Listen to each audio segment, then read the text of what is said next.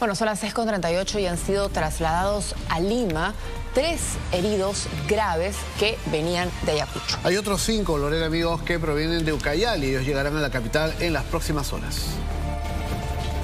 Llegaron desde Ayacucho para ser atendidos en los principales hospitales de la capital. Tres pacientes de 23, 56 y 61 años fueron evacuados al Instituto Nacional de Ciencias Neurológicas en el Cercado de Lima y al Hospital María Auxiliadora en el distrito de San Juan de Miraflores. Estamos trasladando tres pacientes eh, con condiciones muy delicadas. Uno de ellos tiene que entrar a unidad de cuidados intensivos.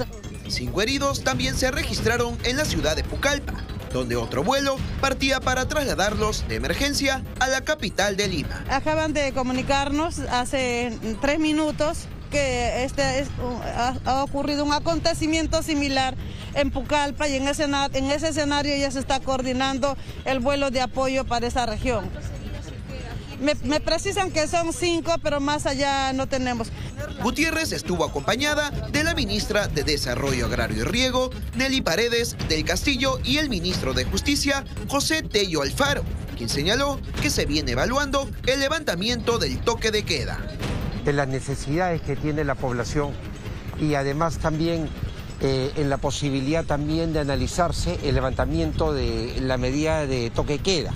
Eso es algo que también se está evaluando justamente a, través del Ministerio del Interior.